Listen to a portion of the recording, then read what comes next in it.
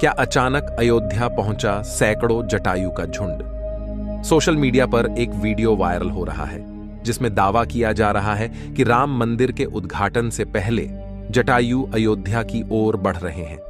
India TV ने इस video का फैक्ट चेक किया और पाया कि यह वीडियो साल 2021 का है और भारत का भी नहीं है।